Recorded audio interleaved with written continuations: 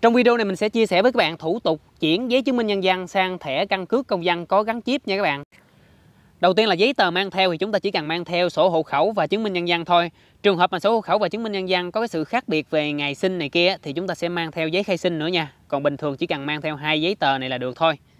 Hiện tại ở mỗi xã phường đều có một cái địa điểm để đổi chứng minh sang thẻ căn cước công dân có gắn chip nha các bạn. Thì các bạn cứ tới cái nơi đó bình thường sẽ là Ủy ban Nhân dân. Và khi tới các bạn sẽ lấy một cái mẫu đơn có tên là phiếu đăng ký thu nhận hồ sơ căn cước công dân gắn chip nha. Khi đi chúng ta nên mang theo một cây viết mực xanh nha để đỡ khỏi mất công chờ đợi trong cái quá trình mà ghi chép này. Về phần ghi chép trên cái phiếu đăng ký này thì cũng rất là đơn giản. Ở phần họ tên thì chúng ta sẽ ghi họ tên, ngày tháng năm sinh nè. Rồi xong rồi ở phần mà nguyên quán thì các bạn sẽ ghi ba cấp nha.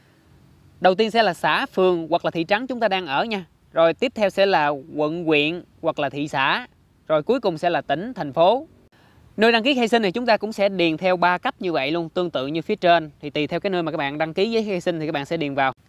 Thông thường thì nó sẽ tương tự như cái phần mà nguyên quán luôn nha các bạn. Phía dưới là họ tên cha, ghi số chứng minh nhân dân, họ tên mẹ, ghi số chứng minh nhân dân. Trường hợp những cô bác mà quá lớn tuổi thì cha mẹ đã mất rồi, chúng ta sẽ điền vào cái chỗ mà số chứng minh nhân dân sẽ là cái chữ mất. Còn trường hợp cha hoặc mẹ không sống chung á, thì chúng ta sẽ ghi là không liên lạc được nha. Rồi cuối cùng sẽ là họ tên vợ chồng và số chứng minh nhân dân. Nếu chưa có thì khỏi ghi nha các bạn. Còn cuối cùng nữa là sẽ là ký tên và ghi rõ họ tên.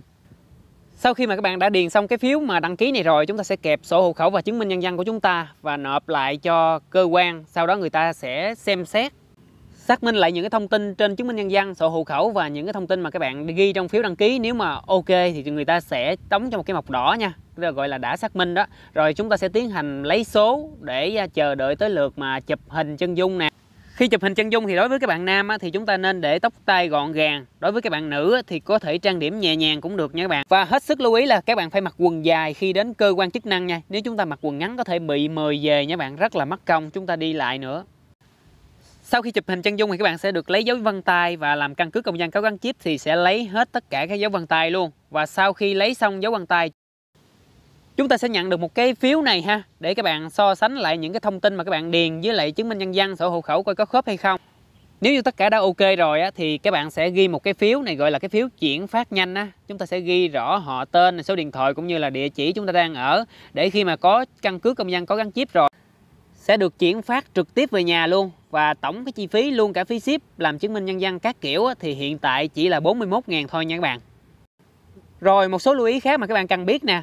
Đối với thẻ căn cước công dân có gắn chip á, thì nó không phải là hạn sử dụng 15 năm tương tự như chứng minh nhân dân mà nó sẽ là 25 tuổi đi làm lại nè, 40 tuổi đi làm lại nè và 60 tuổi đi làm lại cho nên những bạn nào đang là 25 tuổi nè, những anh chị mà 39 tuổi và những cô chú là 59 tuổi thì nếu chứng minh nhân dân hiện tại còn hạn sử dụng ha.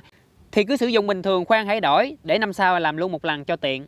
Và hiện tại những người mà sử dụng chứng minh nhân dân mà còn hạn sử dụng lâu rồi chúng ta cũng từ từ rồi đổi ha Tại vì hiện tại cái số lượng người mà đi đổi chứng minh nhân dân sang thẻ căn cước công dân có gắn chip thì rất là đông. Nếu mà đi đổi ở thời điểm hiện tại chúng ta sẽ đợi chờ rất là lâu luôn nha rồi, hy vọng là cái video này sẽ hữu ích đối với các bạn ha. Và trên đây là những chủ đề khác các bạn có thể quan tâm. Cảm ơn các bạn đã theo dõi video và hẹn gặp lại các bạn trong những cái video tiếp theo nha.